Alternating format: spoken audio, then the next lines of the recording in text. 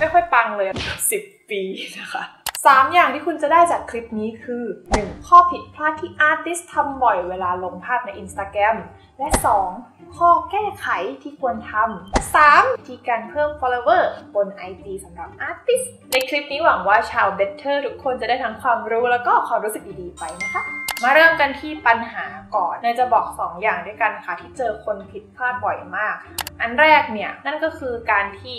ลงภาพแบบภาพมืดๆนะคะ หรือว่าภาพร่างๆที่ไม่ได้ทำความสะอาดมาก่อน เนยแนะนำว่าถ้าหากใครวาดภาพดินสอวาดมืออะไรอย่างนี้เนาะไปทำให้สะอาดก่อนแล้วเนยก็มีคลิปนะคะ เป็นคลิปที่สอนเกี่ยวกับเรื่องการทำภาพยังไงให้สะอาดโดยที่ไม่ต้องใช้เครื่องสแกนนะคะก็ลองไปเช็คกันได้เนาะและข้อผิดพลาดอย่างที่ 2 เวลาที่ลง IG แล้วแบบทำให้คนรู้สึกไม่อยากติดตามเนี่ยอาจจะเป็นในเรื่องของภาพรวมเนี่ยมันไปในทางเดียวกันไปในทิศทางเดียวกัน คะคืออย่างของเนยเองอะเอาจริงนะสไตล์เนยไม่ได้เป็นคนที่มีสไตล์แบบคงที่มากขนาดนั้น แต่ว่าโดยรวมก็จะเห็นว่า มันจะค่อนข้างไปในทางลักษณะเป็น semi realistic นิดนึงเนาะเพราะฉะนั้นคนที่มาติดตามเนยเนี่ยเขาก็ต้อง expect ว่า เอ้ยต้องได้ภาพประมาณนี้ พอเขารู้อย่างนี้เขาก็อาจจะมีโอกาสที่จะติดตามมากขึ้นถ้าหากว่าเขาชอบภาพแนวนี้ค่ะ ถ้าสมมุติว่าคุณเป็นคนหนึ่งที่ชอบวาดหลากหลายสไตล์เนยแนะนำว่าอาจจะทำแอคเคาท์แยกกันนะ หรือว่าทำแอคเคาท์เดียวแล้ววาดภาพแนวหนึ่งให้เยอะๆ ส่วนแนวอื่นเนี่ยสมมุติว่าเรารู้สึกเบื่อรู้สึกอะไรเงี้ยแล้วอยากจะมาเสิริมอีกทีนึงก็สามารถทำได้ เพราะว่า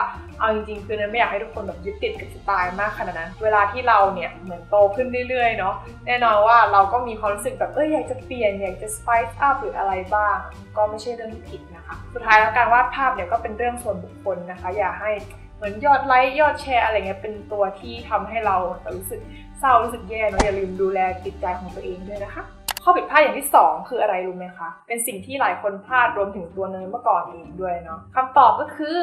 การที่ไม่มีการสารสัมพันธ์บน IG ค่ะ คืออย่างเนยเองอะเนยเป็นคนที่รู้สึกว่าเราอะ เหมือนเป็น introvert เนาะไม่ค่อยชอบซุ้มซิงกับคนหรือว่าหาเพื่อนใหม่ขนาดนั้น แต่ว่าการที่เราอะโพภาพผลงานแล้วอยากให้คนอื่นมาชอบงานเรา เราก็อยากได้ไลค์อยากได้คอมเมนต์ใช่ไหมคะแต่ถ้าเราอะไม่ไปเหมือนหาคนอื่นบ้าง หรือว่าไปเสพงานคนอื่นบ้าง ให้กำลังใจคนอื่นบ้าง มันก็เป็นอะไรที่เหมือนกับเห็นแก่ตัวนิดนึงนะว่าเราแบบเอออยากจะได้อย่างเดียวแล้วเราไม่ให้ใครกลับเลยก็อย่าลืม ไปสร้างความสัมพันธ์กับคนอื่นก็คือ เป็นเพื่อนกับเขานั่นแหละ ก็เหมือนกับเพื่อนในโลกจริง แต่แค่เป็นเพื่อนบนโลกอินเทอร์เน็ตเท่านั้นเอง ซึ่งในขอการันตีเลยว่าเป็นสิ่งที่ดี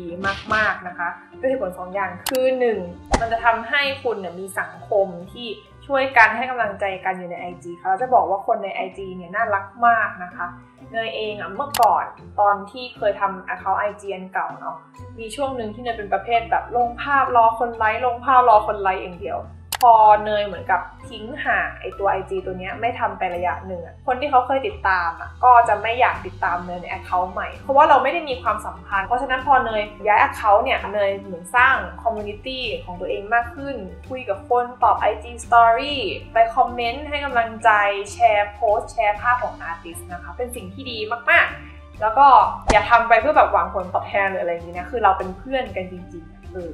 ก็แค่เหมือนกับ ทำตัวชิวๆตามปกติเป็นตัวของตัวเองไปก็ตามนั้นเทคนิคง่ายๆสำหรับเนยนะที่เนยรู้สึกว่าเอาไปใช้แล้วค่อนข้าง work ก็ลองเอาภาพ ask me อย่างเช่นอันนี้นะคะ ทุกคนสามารถไปดาวน์โหลดข้างล่างได้ แล้วก็ เอาไป repost กันใน story แล้วให้คนเนี่ยมาทำเหมือนกับเป็นข้อความ question แล้วก็ถามคำถามเกี่ยวกับตัวเรา 1 2 3 4 อะไรเงี้ย เป็นการพูดคุยกับ follower ด้วยแล้วก็ทำให้เขารู้จักเรามากขึ้น เหมือนกับเป็นเพื่อนกันสนิทกันมากขึ้นนะคะเผื่อแบบเจออะไรที่ common interest ชอบเหมือนกันเนี่ยก็จะได้แบบเฮ้ยคุยกันถูกคอมากขึ้น และ 3 ข้อผิดพลาดอย่างสุดท้ายที่คนเล่น IG แนวอาร์ติสเนี่ยทำกันมาบ่อยก็คือ ไม่ใช้เครื่องทุ่นแรงค่ะ เครื่องทุ่นแรงหมายถึงอะไร เหมือนถ้าสมมติว่าเราอะเน้นเนาะอยากจะให้ IG อะเป็นเมนหลักของเราทำไมเราถึงไม่ใช้โซเชียลมีเดียอื่นเนี่ยเพื่อ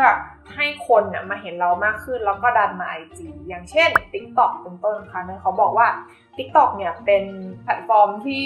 เอื้อหนุนให้กับคนที่เพิ่งทำโซเชียลมีเดียใหม่ ๆ มากๆนะคะ ถ้าใครยังไม่เคยทำ IG หรือว่าไม่เคยทำ YouTube หรือว่าทำที่ไหนก็รู้สึกว่าเอ้ยไม่ค่อยปังเลยลองไปเล่นใน TikTok ดู เพราะว่าอัลกอริทึมของเขาอะมันยังเอื้ออำนวยให้เหมือนกับมีการค้นพบคนใหม่ ๆ ได้เยอะอยู่นะแล้วก็คลิปหนึ่งเนี่ยใช้เวลาไม่นานด้วยเพราะฉะนั้นก็แนะนำมาก ๆ เลยสำหรับมือใหม่นะคะ เราอาจจะเล่น TikTok ไปเรื่อยๆ แล้วเราก็สามารถใส่ลิงก์ไปที่โปรไฟล์ได้เพื่อให้เขามาติดตามเราใน IG หรือว่าทำคลิป TikTok เนี่ยแหละแล้วก็บอกว่าเออถ้าอยากจะเห็นผลงานเราเพิ่มเนี่ยมาเจอกันใน IG ได้นะอะอันนี้ก็จะเป็นการใช้เครื่องทุ่นแรงค่ะ เพราะว่าแพลตฟอร์มอย่าง TikTok เนี่ยมันทำให้คนเห็นได้ง่ายกว่าในตัว IG เนาะ นอกจากนี้ IG ก็ยังมีเครื่องทุนแรงอีกหลายอย่างเลยหนึ่งในนั้นก็คือเรื่องของการที่เราไป join competition ค่ะ ก็คือไปทำการแข่งวาดรูป ในแฮชแท็กต่างๆ อย่างเช่น draw this in your style นะคะ โดยไอตัว draw this in your style เนี่ยก็คือการที่เราเหมือนกับวาดภาพคนอื่นในแบบของเราเอง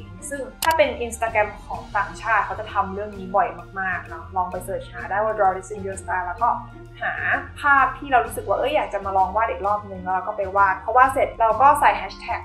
เขาสมมุติว่า account ชื่อ ABC เขาอาจจะแบบโพสต์ภาพลงมาแล้วก็บอกว่า เอ้ยทุกคน อันนี้เป็น draw this in your style นะ ทุกคนสามารถมาจอยกันได้แล้วเราจะ repost ให้คุณอะไรเงี้ยหรือพวก influencer ที่เขา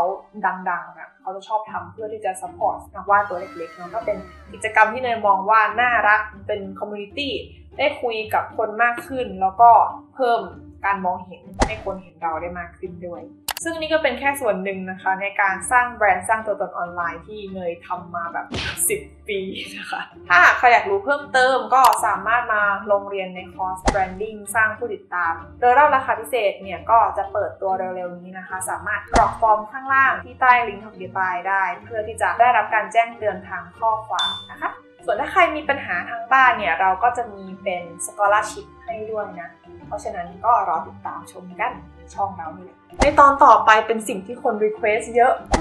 มากๆ นั่นก็คือการวาดบน iBit Paint ค่ะ ใครรออยู่ก็อย่าลืมติดตามกันนะจ๊ะ ระหว่างรอก็ playlist ข้างนี้ได้เลย วันนี้เนยก็ขอตัวลาไปก่อนจ้ะ บ๊ายบาย